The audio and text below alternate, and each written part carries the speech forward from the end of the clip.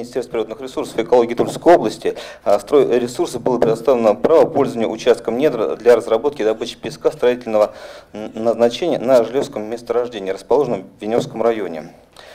В настоящее время ООО «Стройресурс» уже ведутся работы на двух земельных участках, находящихся в границах данного месторождения строительного песка которые были ранее переведены из земель сельскохозяйственного назначения в земли промышленного и иного специального назначения. При переводе земельного участка на предприятии будет дополнительно трудоустроено около 10 э, жителей Внесского района.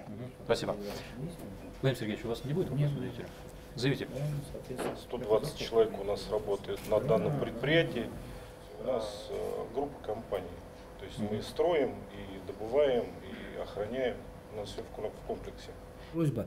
А, вот у меня есть э, в Ефремове моя любимая дорога, красноармейская. Я по ней там первый раз проезжал, потом мы вложили немало денег, чтобы ее реконструировать, и повесили там знаки, 5 а, тонн. Сейчас по какой-то причине ваши сотрудники знаки эти сняли.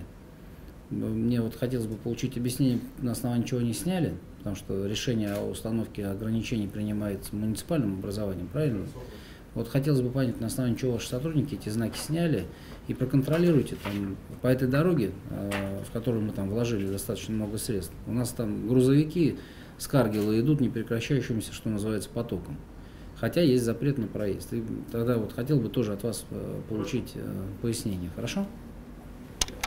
Во-первых, у нас растет гособоронзаказ в разы.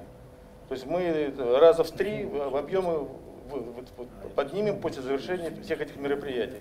Это налоги для города, значит, экология нормальная, дальше внешний вид будет улучшен, потому что предприятие находится ну, не в центре города, но, по крайней мере, Заречье, на заметном месте. У нас